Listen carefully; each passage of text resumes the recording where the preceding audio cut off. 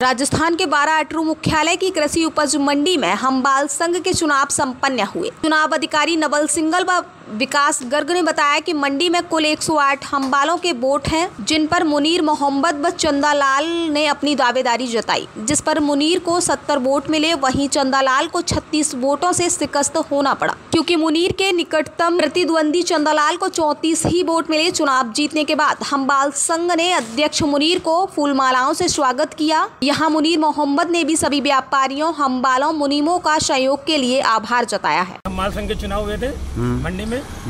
हम इसमें चुनाव में क्या कहते हैं, चंदालाल और मुनीर चाचा दोनों ने चुनाव लड़े थे दोनों मुनीर चाचा चुनाव जीते चौंतीस वोटों से। सत्तर वोट इनको मिले मुनीर चाचा को और चौंतीस वोट चंदालाल को मिले। और इस प्रकार क्या कहते हैं, छत्तीस वोटों से मुनीर चाचा को विजय घोषित किया गया है। हम संघ अध्यक्ष मुनीर चाचा को बधाई हो।